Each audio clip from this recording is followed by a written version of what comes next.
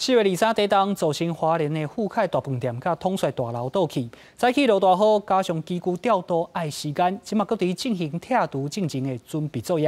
因为这富凯大饭店是伫楼地所在附近修建封锁线，造成店家无法度做生意。早起有店家赶紧将这个有保存期限的食品先搬走。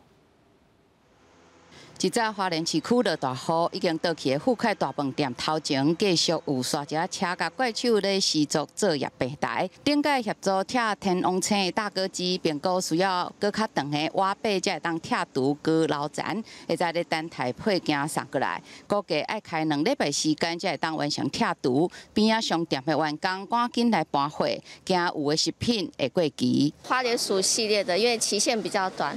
对，所以那个要赶快撤到我们另外一家总店，到期就那些食品就会浪费掉，就这样很可惜。员工拍开门，店内虽然有寡物件落来，但灾情无算严重。员工笑讲，余震实在伤济，已经累积经验来避免损失。比较高的产品都会把它先躺着，避免它地震的时候又再摔下来。因为之前第一次地震的时候，它就全部都摔下来，都破掉。地震了两天，中山路的商店拢停止营业。拍开大门的是华联唯一一间分行的中华银行，员工赶紧搬来摆啊来通知客户。要让金融那个才能够畅通，而不是像说 seven 这家没有，可以去别家嘛。啊，一样不行这样。除了拆除工作，富凯大饭店头前嘛搬来肉粽，放伫商店头前做保护。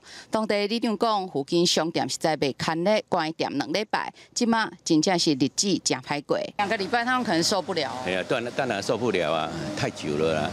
现在地震就游客又少。没有进来啊！现在有在在附近的顾客也是要顾好啊。那商店附近的传统市场嘛，冷冷清清，讲红路买去至少减少一半。另外一栋起起的统帅大楼，原本下早要开始拆除，不过包商表示作业平台阁无够悬，爱相对土少单机区上来，并阁有可能爱等到礼拜六以后才会当动工。记者温家凯林就梅张敏如 SNG 小组华联报道。